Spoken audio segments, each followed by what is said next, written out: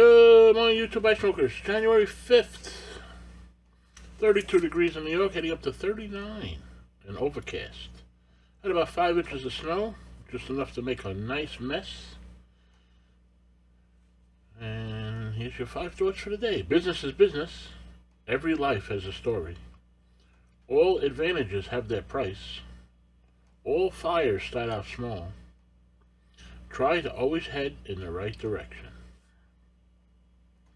Hope your year's going well so far. Five days into it. Too early to tell maybe for most, but think positive, stay safe. I'll catch you on the next one. Thank you.